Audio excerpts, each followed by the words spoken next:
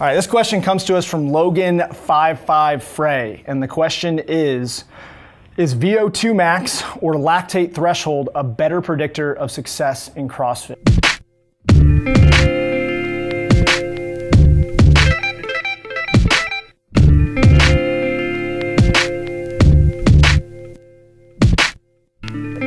I think to answer this, we're gonna have to go into some detail on what exactly VO2 max and what lactate threshold are. So first off, VO2 max is a measurement of oxygen utilization in the body. And it's a measure, it's in general a non-specific measurement of oxygen utilization. How do we test it? We put someone on a treadmill or a bike and we have them do a ramping test. So essentially they get on the treadmill and every minute or 90 seconds, depending on what protocol you use, you increase the speed or you can increase the height of the treadmill. And we measure the gases that are exchanged. So that gives us a measurement of exactly how much oxygen that athlete's using.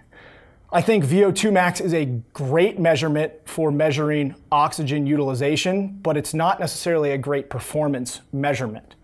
Uh, lactate threshold, on the other hand, is a measurement of the essential balance point between the production of lactate and the utilization of lactate in the energy systems. And typically, people look at lactate threshold as sort of an endurance marker. So, here's some of the problems that I think exist with VO2 or lactate threshold as benchmarks for CrossFitters.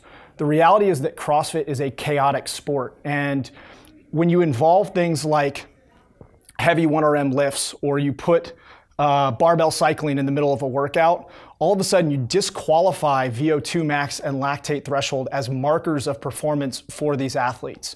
Now, on the flip side, if you look at the endurance aspects of the sport, like at the CrossFit Games this past year, we had long swims, runs, we had events that mixed running and uh, strongman elements and obstacle courses. When it comes to those things, typically I would say that lactate threshold would be a better predictor of endurance performance. That's pretty much borne out in the literature that VO2 max is a poor predictor of performance and lactate threshold tends to be a better one, but that only applies to the endurance or monostructural endurance aspects of the sport. As soon as you start to mix in elements like wall balls and barbells and those things, I think that these become uh, subpar measurements of performance in the sport, and that the best way to predict performance in the sport is by testing the sport itself and getting performance metrics there rather than using these types of proxies to get performance metrics. But some things that I would say is that an athlete to perform well in the sport of CrossFit would most likely have to have a high VO2 max and a high lactate threshold.